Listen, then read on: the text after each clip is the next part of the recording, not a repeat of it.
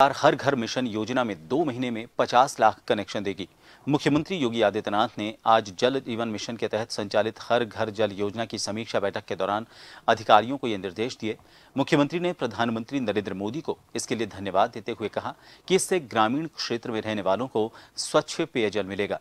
मुख्यमंत्री ने कहा कि योजना के तहत चल रहे कामों को समय से पूरा कर जनता को फ़ायदा दिया जाए। साथ ही प्रगति रिपोर्ट समय से अपलोड कर थर्ड पार्टी ऑडिट भी कराएँ।